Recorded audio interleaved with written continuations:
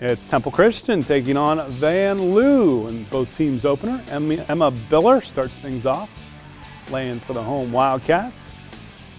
Biller again. Gets another one to fall. Good passing down low for Vanlue. How about Amanda Clymer? Working the post. Makes the move for two more. Clymer in the post again. How about another deuce? Vanlue looking tough.